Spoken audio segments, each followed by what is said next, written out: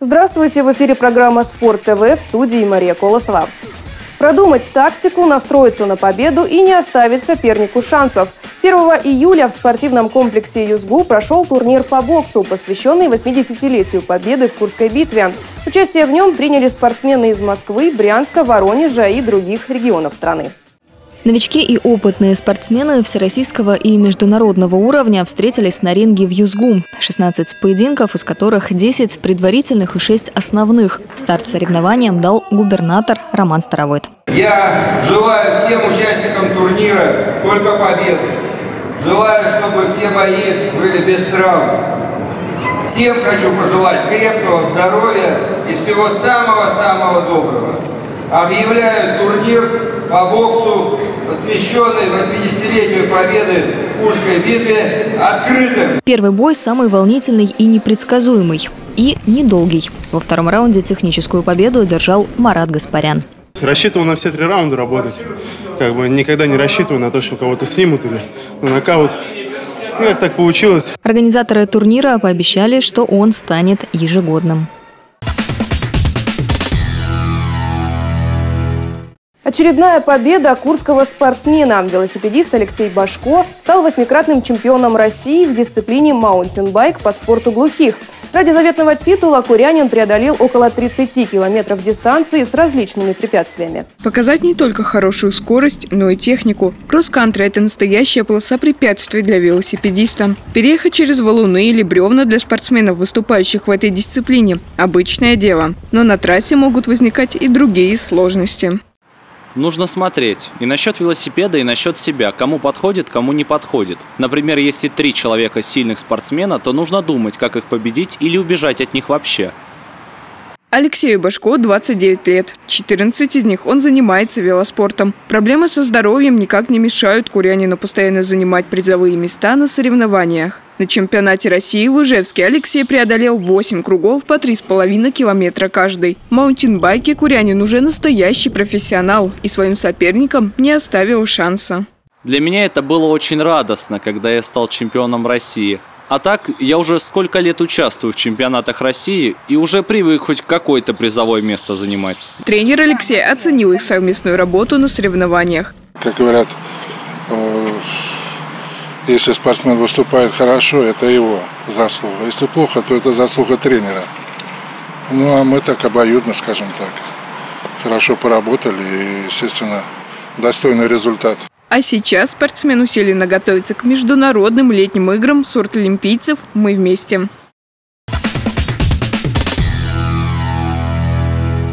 Бесстрашные покорители стихии куряне стали участниками морской практики на Черном море. Из-за отсутствия интернета в Керченском проливе яхтсменам пришлось использовать бумажные карты и компас. Как им удалось добраться до берега, расскажем далее. Отдача. Готовы. Готовы.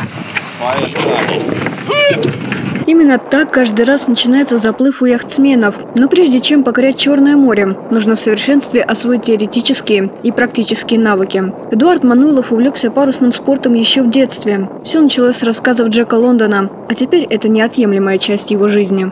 Когда весной наступают первые, первые теплые деньки, когда можно уже выйти на воду, конечно, это душе такое, сердце замирает, а, дыхание учащается, и какое-то детское щенячье вот это восторг. Увлечение Эдуарда парусным спортом разделяют и члены семьи. Его дочка Анастасия в первый раз вышла на воду на маленькой лодке «Оптимист» для начинающих яхтсменов. А сейчас с горящими глазами, наравне со взрослыми, рассекает бескрайние морские просторы. Сейчас прям есть мотивация ездить на соревнования. Мне не хватает именно вот этого чувства когда ты борешься за место свое, чтобы быть на высоком месте в общем зачете и чтобы получить какое-то призовое место. Яхта, открытое море, возможность любоваться дельфинами на расстоянии вытянутой руки. Именно эти ощущения испытывал Эдуард со своей семьей и командой, отправившись в учебный поход. Но без трудностей не обошлось.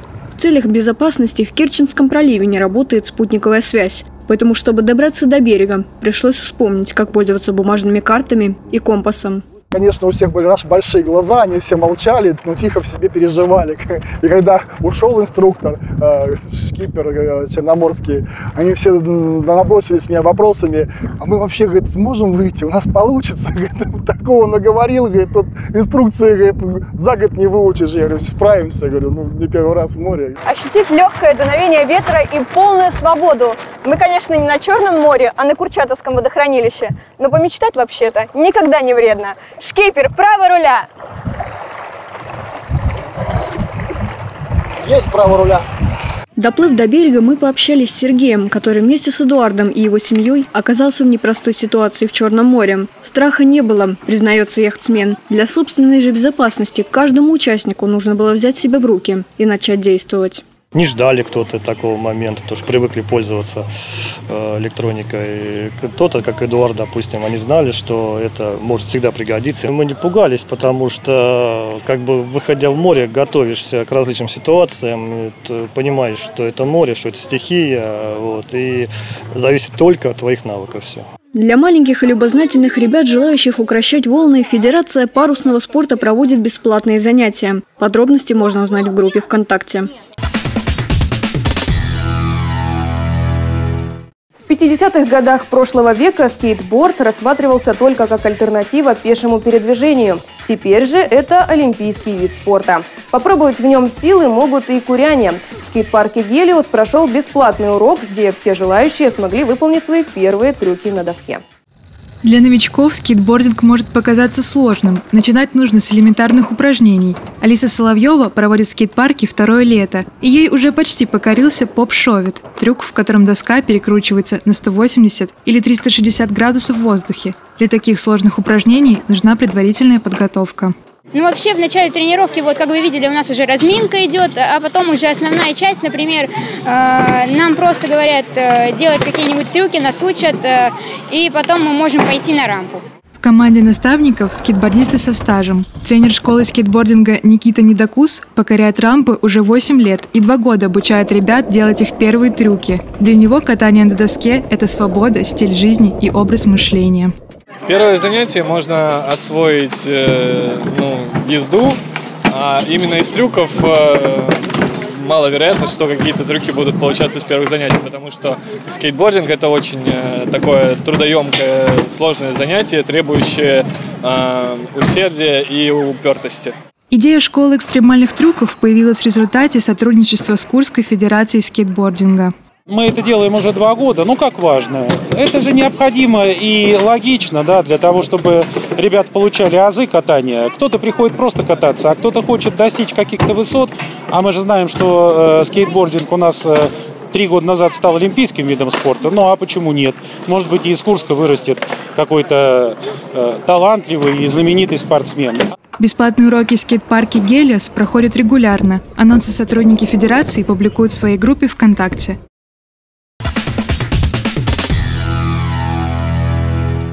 Курске прошел турнир по боксу, посвященный памяти погибших в ходе СВО. На открытии зрителей встретили почетные гости, мастера спорта, ветераны боевых действий. В финале в главном бою за победу боролись чемпион мира по версии WBO Давид Гладун и чемпион России в среднем весе из Курска Архан Гаджиев.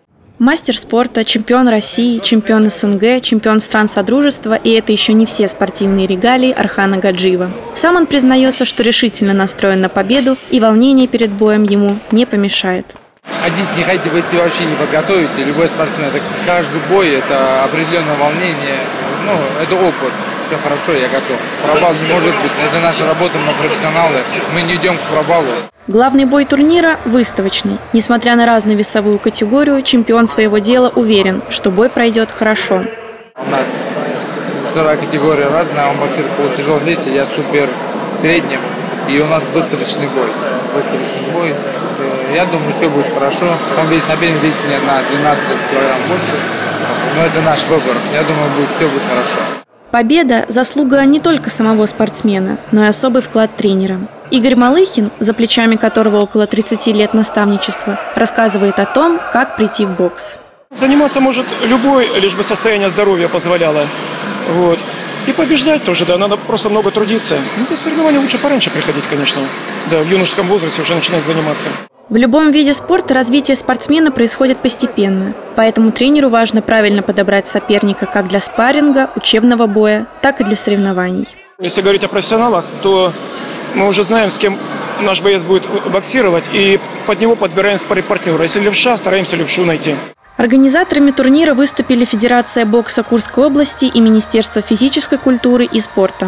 В этом году много мероприятий посвящены различным памятным датам в том числе празднованию 80-летия Победы в Курской битве, а также подвигам наших бойцов, принимающих участие в СВО.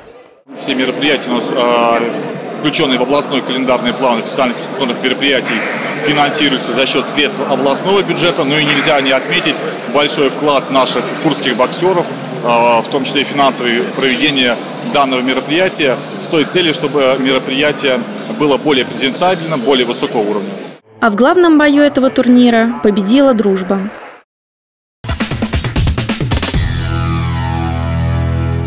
Они будут выступать в Суперлиге. Женская команда «Атом Курск» готовится к предварительному этапу Кубка России. Он пройдет в Курске с 7 по 10 сентября. Сейчас девушки упорно тренируются. Анна Поспелова построила заветную карьеру не сразу. Девушка пробовала себя в спортивной гимнастике, конном спорте и футболе. Однако приоритетным среди длинного списка увлечений все же остался волейбол. Ему посвятила 10 лет жизни и готова поделиться опытом.